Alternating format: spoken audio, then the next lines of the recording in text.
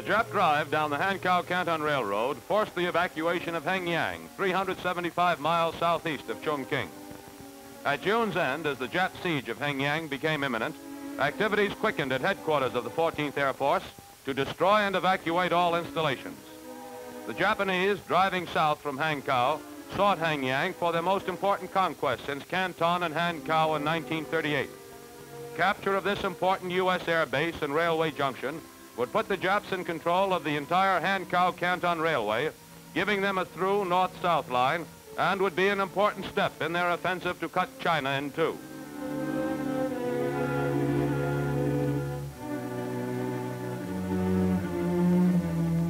As coolies dug holes in the runways they sweated to build, GIs prepared bomb fuses. Bombs laboriously flown over the hump blew up the very fields from which they were to have been delivered to the Japs. Half-pound blocks of TNT were shaved to fit into the nose and detonate the thousand-pounders.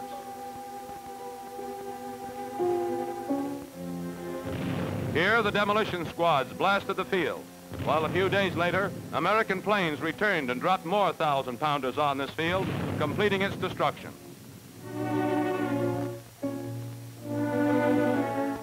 Quartermaster and Air Service Command buildings, hostels, operations, radio tower, everything was set afire.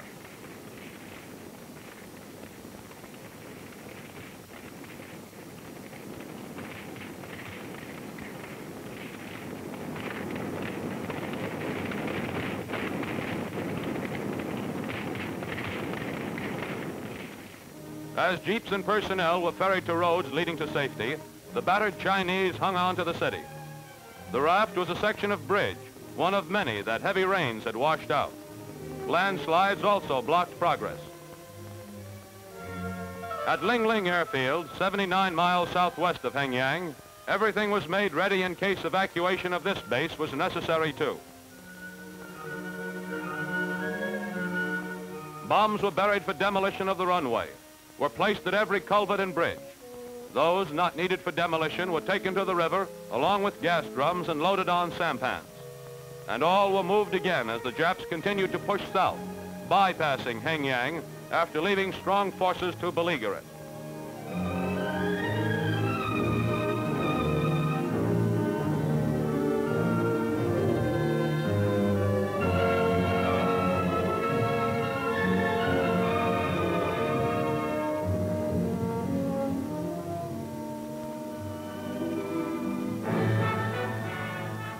Refugees and vehicles waited to be ferried across the swollen Siang River and proceed by train to the safety of the city of Guilin, still farther southwest. The ferry boat was swept downstream and damaged. By the time it was in operation again, this crowd had grown and it took many days to get the caravan across.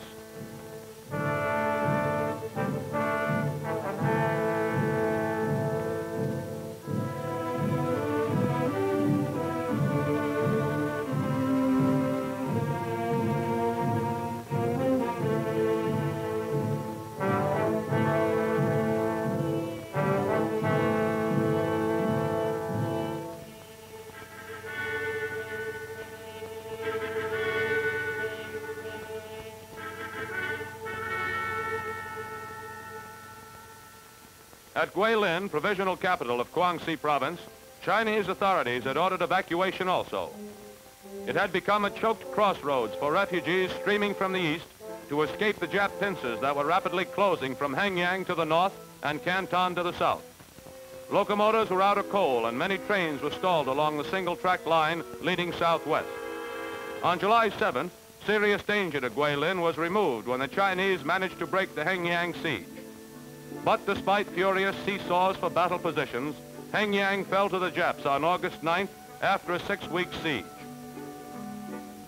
Coolies worked to repair the American-held Guilin base after a Jap attack had damaged the strip and some planes parked on the field. By the middle of August, the Chinese still fought bitterly to retake Hengyang and keep the Japs from closing the gap to Canton, and the 14th Air Force fought with them.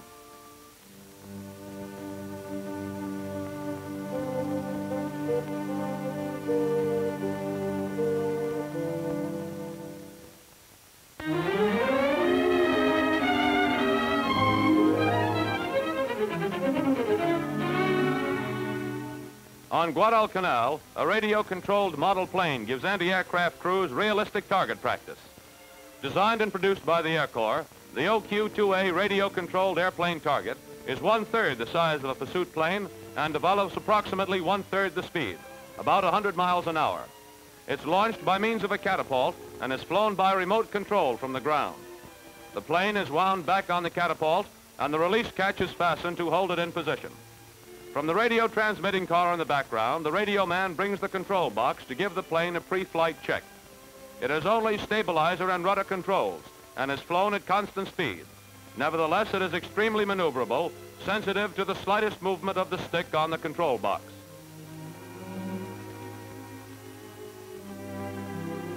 The parachute release is tested next. The chute button is pressed, releasing a lid atop the fuselage where the chute is packed. The plane's radio is also contained here. The plane can be landed on a runway, but landing by chute is more practical. The effects of torque are overcome by the use of contra-rotating propellers. RPMs are checked with a stroboscope. The blades of the stroboscope rotate at a known rate, and when the props appear to stand still, their speed is the same as the stroboscope's. This is the only means of bringing the engine to the proper RPM. Catapulted as the release cord is pulled, the plane flies out over gun positions on the beach. A 40 millimeter Bofors with forward area open sights gets the range of the plane. 50 caliber machine guns and 90 millimeter anti-aircraft guns are also used in this target practice. Anti-aircraft crews throughout this Pacific theater come to the Anti-Aircraft Artillery Combat Center for refresher courses in gunnery and to become acquainted with new types of weapons.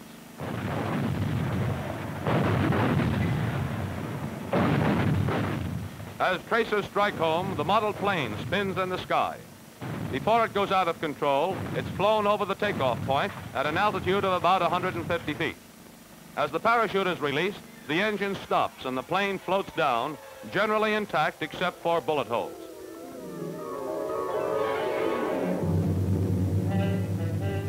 But this time it comes to grief in a palm grove.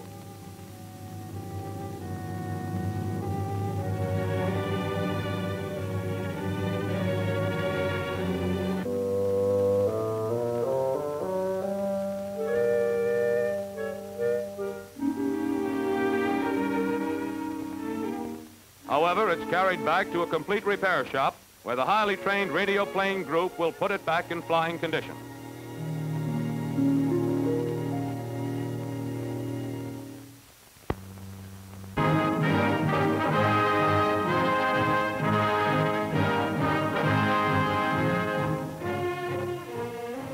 Ninth Air Force engineers construct the first tar paper landing strip in France. Trucks with trailers rigged as laying machines spread the tar paper over the runway after steamrollers have smoothed the ground.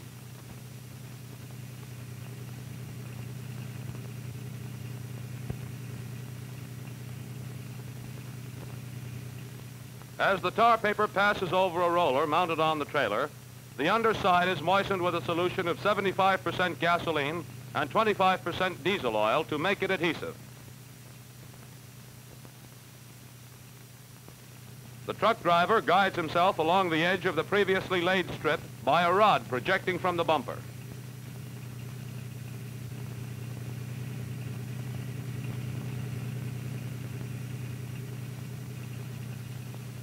As the tar paper runs out, fresh rolls are lifted onto the spindles.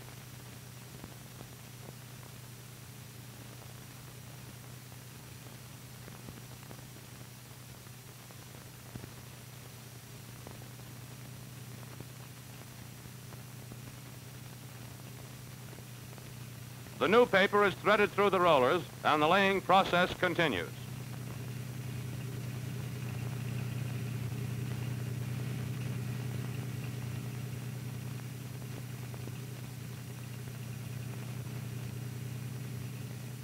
As the paper streams from the trailer, men follow to check and adjust it on the runway.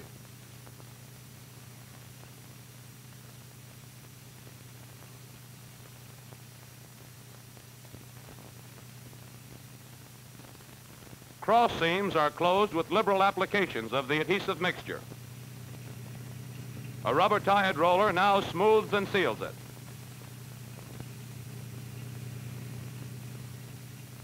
Steel mesh is then laid over the tar paper to reinforce it. Called Hessian Runway, after the name of the tar paper strips, this 5,000-foot field was covered in the record time of 17 hours. It will be used by both the AAF and the RAF.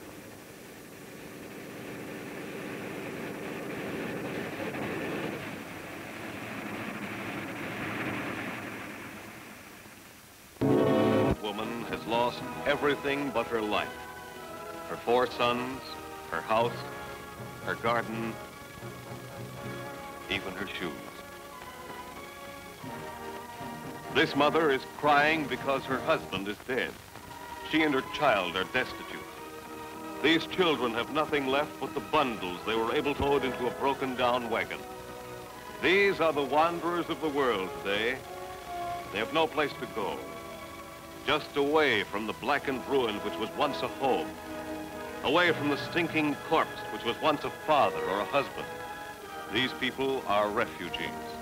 And refugees are a military problem. In their tragic bewilderment, they clog our supply and communication lines, create confusion, spread disease. The very old, the very young, homeless, the dazed.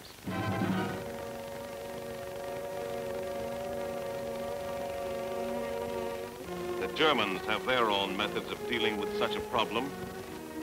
Bullets have been very effective. So has barbed wire. But we believe in different methods. We believe in taking these homeless and weary people out of the storm of war.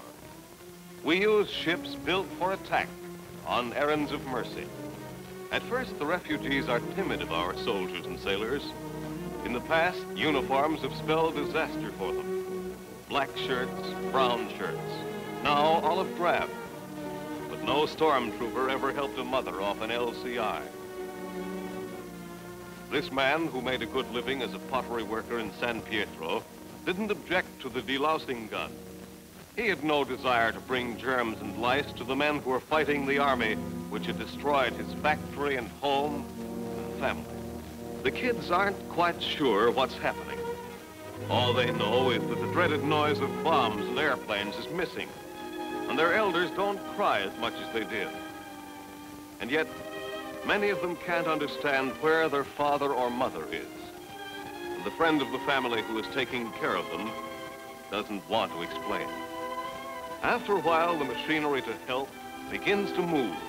Sweaters, pants, skirts, coats from attics and closets in England and America.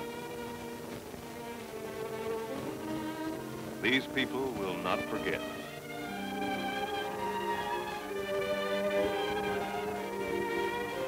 Next comes questioning. Names, dates, places. When did you last see your son? What is your daughter's first name? Families are brought together. And Enemy agents are ferreted out of the mass of refugees.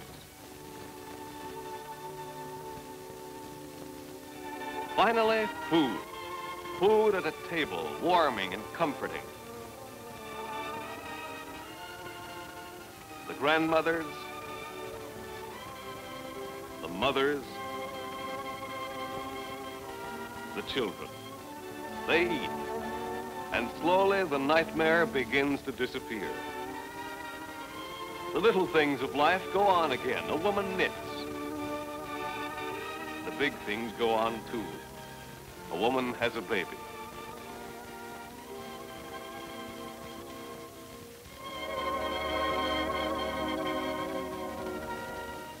After processing, the refugees move on to resettlement camps in the south of Italy, where they will wait until the day comes when they can return to rebuild their towns, and their houses, and their lives. These men and women in Italy are but a handful of the millions of refugees we'll meet in France and Holland and Belgium and wherever the Nazis have conquered. And in each country, we'll solve the problem in the same way. A man named Hitler put tears in this little girl's eyes. Now millions of men are fighting to put a smile back on her face.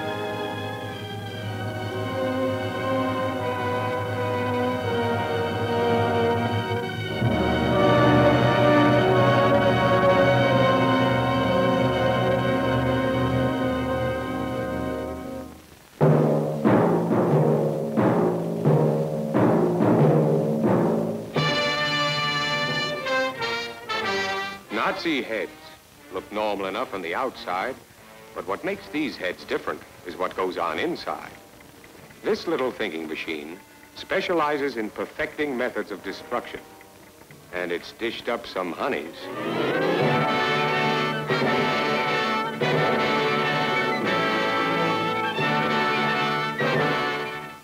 With these, they destroy men, ships, and cities.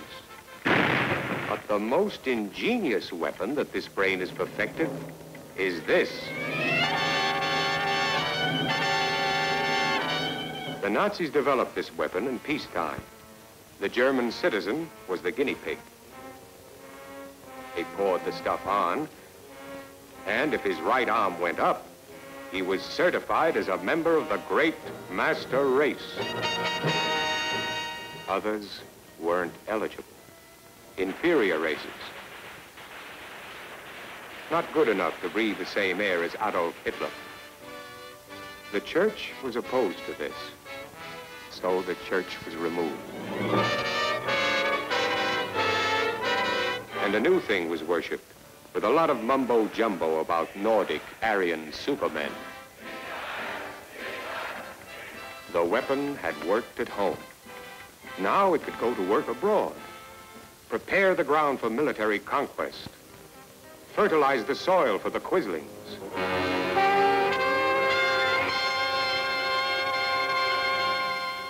A weapon of war. Play country against country. Look out. Look out for that country behind you. Look out for the Poles. Look out for the French. Don't trust the English. Beware the Russians. A weapon of war. Play religion against religion. Turn Protestant against Catholic. And both against Jews. A weapon of war. Play race against race. Aryan, Aryan, Aryan, Aryan, Aryan, this race, that race, this race, that race, this race, that race, this race. And that... fear and suspicion, prejudice and hatred had done their work in Europe. Split up for Nazi conquest.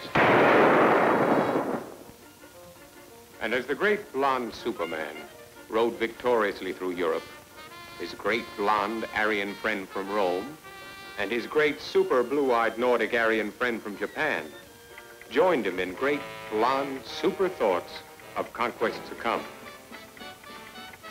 The United States, united? A hodgepodge country of all races, 61 nationalities, and 259 different religious creeds. Here, they thought, were jealousies and prejudices to play upon. Here was the perfect setup for their plan. Divide and conquer. Here was the stuff. First, dress up the product for the American market. And then... Step right up, ladies and gentlemen, and get your bottle here. The one and only Dr. Hitler's blood tonic. Every drop is guaranteed. Is your system sluggish? Try the world's most famous purge. Take home a bottle. Are you high-strung and irritable? Do you lie awake nights and worry about Armenians, Peruvians, Scandinavians, and Greeks? Try a bottle and you'll lick any foreigner in town. You know those Poles who live on Cedar Street, the Irish down on Hickory Street, the Swedes who live on Chestnut Street, the Negroes out on Maple Street, that Mexican family on Mulberry Street. Take a bottle. You'll be amazed what you can do. Friends, don't forget that you and you and you are much better people than you and you and you. Do others take advantage of your easy-going nature? Are you chronically annoyed by Catholics, Baptists, Methodists, or perhaps Episcopalians? Are Jews or Presbyterians a constant irritation? Friends, this bottle is the answer to all your aches and troubles. Step right up. It's the buy of your lifetime. Did I say buy? Friends, it's a gift. Step right up, folks. Get 'em while they last. Well, folks, how about it? Come on, folks. What do you say? What do you say? What do you say?